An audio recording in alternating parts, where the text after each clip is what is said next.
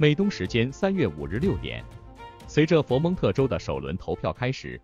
美国大选党内初选阶段最受关注的超级星期二正式启幕。全美十几个州和美属萨摩亚的选民当天为两党党内竞选人投票，但由于此次投票覆盖多州，横跨六个时区，可能需要数小时甚至数天时间才能确定最后结果。在某些州，统计邮寄选票可能需要更长的时间。美国现任总统拜登正领跑民主党选战，前总统特朗普在共和党初选中大幅领先，而超级星期二或是美国前常驻联合国代表尼基·黑利演阻特朗普再次成为共和党总统候选人的最后机会。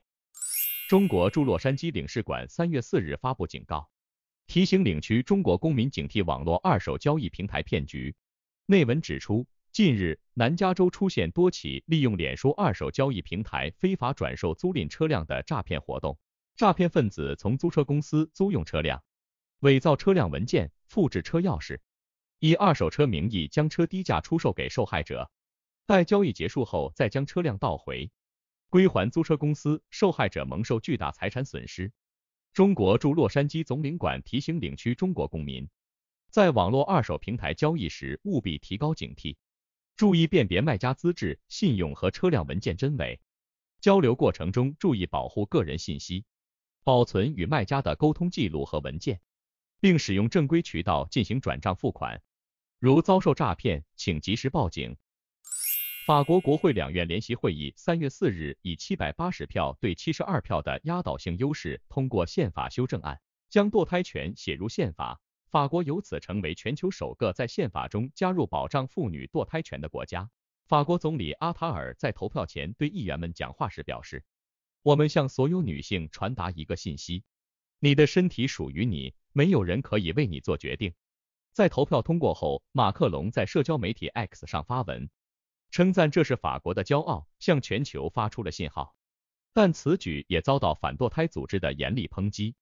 有分析人士指出。在美国联邦最高法院于二零二二年推翻罗素韦德案裁决后，法国此次有关妇女堕胎权的表决至关重要，或在欧洲层面影响各界对于堕胎权的态度。菲律宾三月五日指责中国海警于南中国海在菲律宾军队执行补给任务时进行了危险动作，导致其海警船与一艘中国船只相撞。中国海警船对一艘菲律宾补给船使用高压水枪。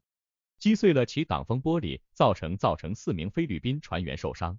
这艘菲律宾海岸警卫队船只是协助执行任务的两艘海岸警卫队船只之一，其任务是为驻扎在第二托马斯浅滩搁浅军舰上的菲律宾军队提供补给。中国海警当天也对此事件立即发表声明，